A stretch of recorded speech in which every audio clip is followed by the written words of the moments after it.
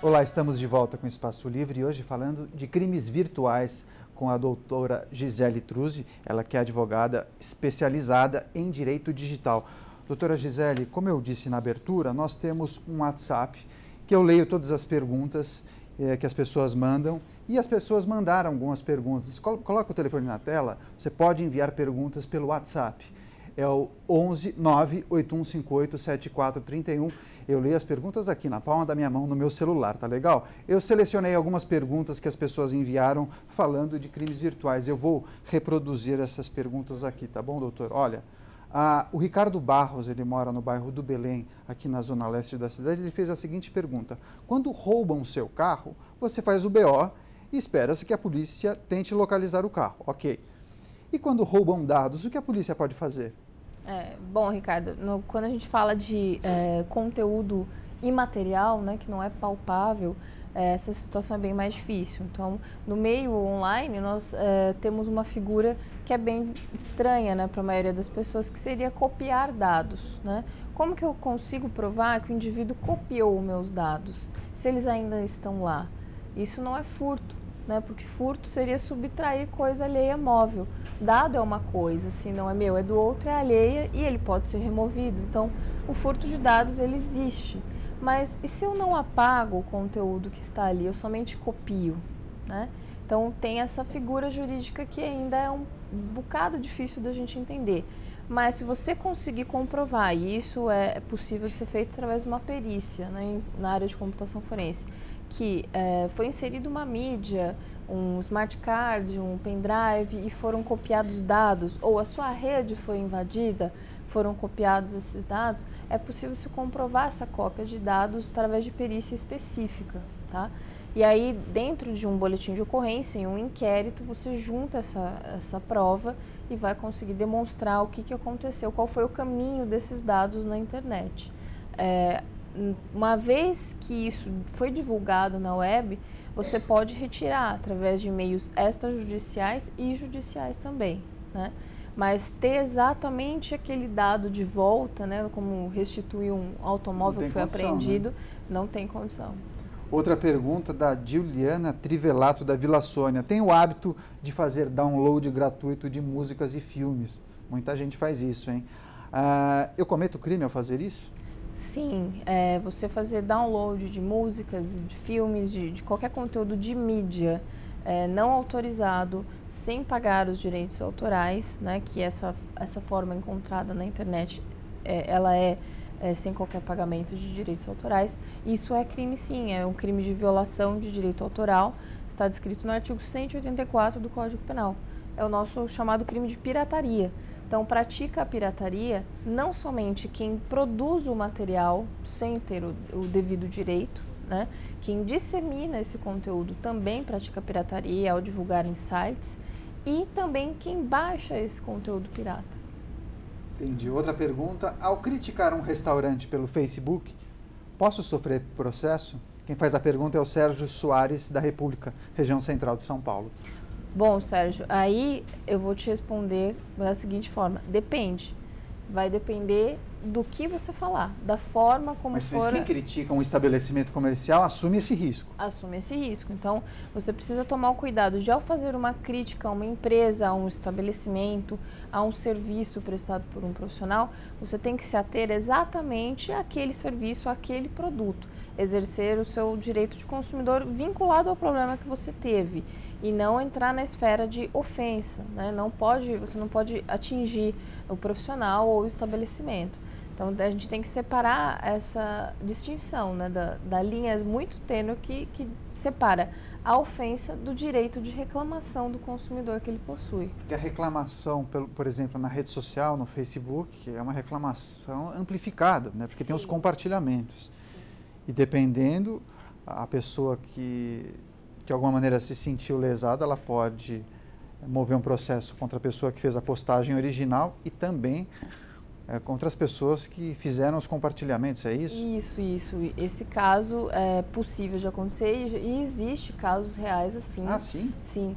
Teve um primeiro caso que foi julgado em 2013 pelo Tribunal de Justiça de São Paulo, né, na, no mês de novembro, é, em que abriu um precedente muito importante para nós, né, advogados nessa área do direito digital, que possibilitou é, que nós buscássemos a punição pelo compartilhamento de conteúdo difamatório. O que, que ocorreu nesse caso? É, era um, na questão era um pet shop é, e um veterinário, dono desse pet shop, em que a cliente foi lá com o seu cachorro, não sei exatamente o que ocorreu, não me recordo, mas ela não gostou do atendimento e ela fez um post no Facebook reclamando do pet shop e do veterinário. É, da forma como ela reclamou, ela passou a, a ofendê-lo. Ela praticou sim o crime de difamação, porque ela começou a colocar ali juízos de valores e atacar o profissional.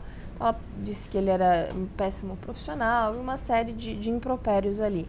É, assim que ela fez essa publicação na rede social, outras duas pessoas compartilharam a publicação dela. Quer dizer, propagaram a difamação. Né? Isso vai aumentando em escala, né, em progressão geométrica. Né?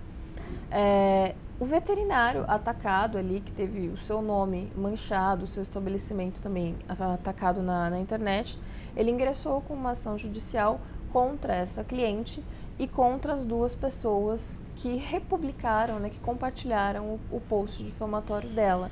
E ele ganhou essa ação. Né? O Tribunal de Justiça condenou a, a ex-cliente ao pagamento de indenização e condenou cada uma das duas pessoas que compartilharam a publicação difamatória, condenou-as ao pagamento de 10 mil reais na época, eh, cada uma pela difamação. O TJ de São Paulo entendeu que, ao compartilhar eh, um conteúdo difamatório, você está eh, corroborando para o aumento daquela difamação, você está ratificando aquele conteúdo. Então, isso passa a, a desenvolver um alerta né, na, nos usuários no seguinte sentido, cuidado com o que você compartilha na rede social. É, e a sua ação tem muita. Exatamente. Você tem que ter responsabilidade. Né? Sim. Em relação à sua ação, aos seus compartilhamentos. Uhum. Outra pergunta, que eu acho que é uma pergunta, um tema muito atual. É, quem enviou foi o Wilson Espósito, do Jardim São Paulo, região norte da cidade. Recebi as fotos do ator Estênio Garcia por mensagem de WhatsApp. Se eu encaminhar para meus contatos, eu cometo crime? Sim. É, ao receber um conteúdo íntimo de alguém e repassar isso para terceiros, seja via WhatsApp, é, e-mail, rede social, você pratica o mesmo crime que aquela pessoa que divulgou pela primeira vez. Obviamente que em escala menor, né, você é um participante, não o autor da difamação, mas o crime é o mesmo. É exatamente a mesma analogia do, do caso que eu contei uh, agora há pouco. Né? Ao compartilhar um conteúdo, você é, está propagando aquela difamação. Então você pode eventualmente é, sofrer as consequências jurídicas Ainda que seja disso. por dispositivo móvel, né? Ainda que seja por dispositivo móvel, sim. Tá. Outra, comprei roupas em uma loja virtual chinesa, não vou falar o nome, a encomenda veio faltando uma peça. Com quem devo reclamar? Uhum. Sônia Aguirre, da Vila Beatriz. Esses casos de compras é, online de lojas estrangeiras é, são bem complicados, é, porque nós não temos ali a ingerência do PROCON, né? uma vez que a compra ela é feita via internet, mas ela envolve um, uma, um ente que está no exterior.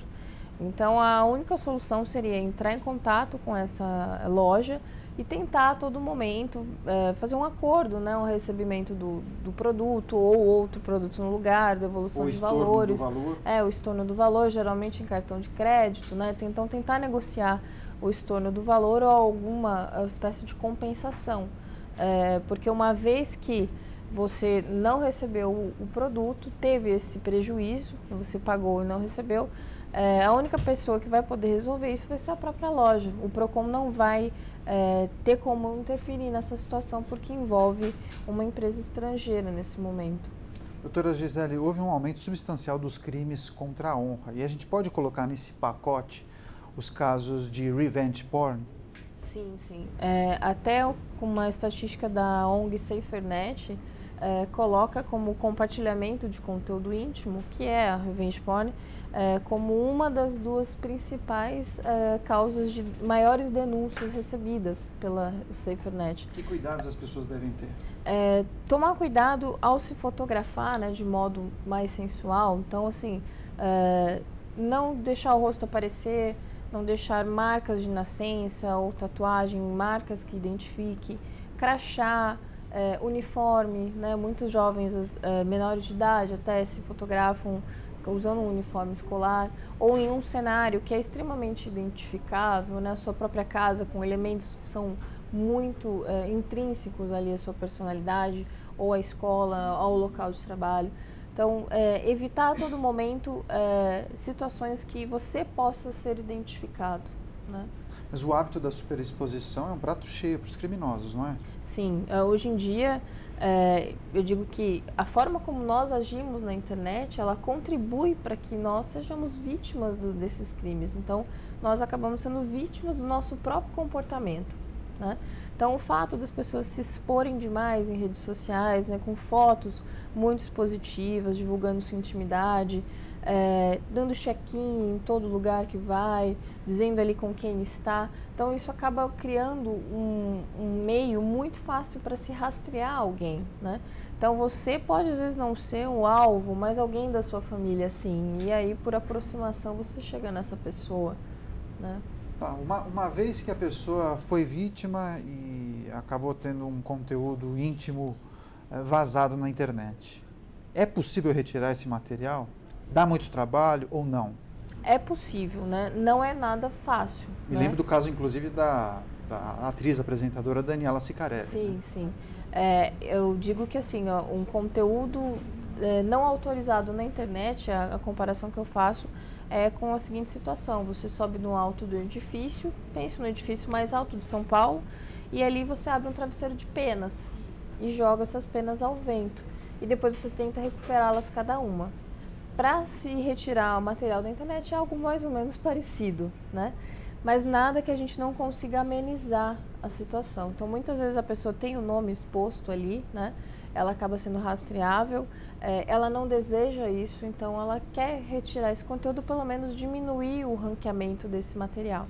Então é possível sim excluir isso, primeiramente através de notificações extrajudiciais encaminhadas para cada site que está hospedando o material. Se esses sites forem estrangeiros, essa notificação é enviada em inglês. Em um segundo momento, caso os sites não atendam o conteúdo, é possível então mover uma ação judicial para que retirem esse material. Se o site for brasileiro, a gente tem um contexto ali é, perfeito, uma situação perfeita para poder retirar isso. Doutora, a gente está chegando bem próximo ao final do programa, mas eu acho importante a gente falar, ainda que rapidamente, do, dos problemas que envolvem os bancos. Uhum. Muitas vezes uma pessoa percebe que sumiu um valor da sua conta. É, de, dependendo da situação, ela pode ter sido vítima de uma fraude, uhum. uma, uma, pessoa invadiu aquela conta e conseguiu subtrair um valor. É, neste caso, quem, quem arca com prejuízo? O próprio cliente ou o banco? Bom, primeiramente, é, é importante você sempre verificar seu saldo bancário e anotar qualquer problema, tirar um print do extrato, tirar uma cópia e entrar em contato diretamente com o banco. Né? Não demore para tomar essa atitude. Entre em contato direto com o banco, reporte o ocorrido e, na sequência, é, faça um boletim de ocorrência e depois vai ter que encaminhar esse boletim de ocorrência para o banco, para que o banco dê encaminhamento ali dentro do setor de fraudes. É, antigamente, esse ressarcimento de valores era feito automaticamente pelos bancos. Né? Uma vez que o cliente reclamava de um, de um valor que foi retirado de sua conta, ele falava que tinha sofrido fraude, os bancos já prontamente ressarciam para evitar maiores problemas na esfera do direito do consumidor. Ocorre que algumas pessoas passaram a praticar o que nós chamamos de autofraude, simular uma invasão na conta bancária e fazer uma transferência para terceiro, para poder receber um valor a maior do banco Entendi. como indenização por dano moral. Tá? E aí, em virtude da, da tecnologia de segurança dos bancos brasileiros, que é muito boa, né, e das campanhas de conscientização que eles fazem em massa, os bancos passaram a não mais agir dessa forma. Então, hoje, o consumidor, o correntista, ele é também responsável pela sua segurança. E uma vez que o banco prova que ele deu todos os meios de segurança para o cliente é, e o cliente não fez uso disso, aí o consumidor não vai ser indenizado. Entendi. Então, primeiramente, o banco é, analisa a situação para verificar se o consumidor usou todos os meios de segurança. Se ele usou, sim, então, ok, é, é feita a indenização. Mas se fica provado que o consumidor não seguiu os passos de segurança recomendados pelo banco, aí certamente o banco não irá é, ressarci-lo. Perfeito. Doutora Gisele Truzzi, agradeço demais a entrevista. Sempre importante recebê-la aqui na TV Câmara. Você sempre tirando as dúvidas do nosso público. Enfim, gostei muito da conversa. Quem quiser continuar esse bate-papo, tem um contato, tem um site, por exemplo, para você compartilhar com o nosso público? Tem, temos o site do nosso escritório, que é www.truze.com.br. Tá, Joia. Muito obrigado pela entrevista. Volte mais vezes aqui à TV Câmara São Eu Paulo, que agradeço, tá legal? Daniel. Obrigada a oportunidade. Obrigado. Obrigada. Bem, Espaço Livre de hoje fica por aqui, mas nós vamos continuar a falar dos assuntos importantes no seu dia a dia. Obrigado pela companhia, obrigado pela audiência. TV Câmara São Paulo, informação para a cidadania.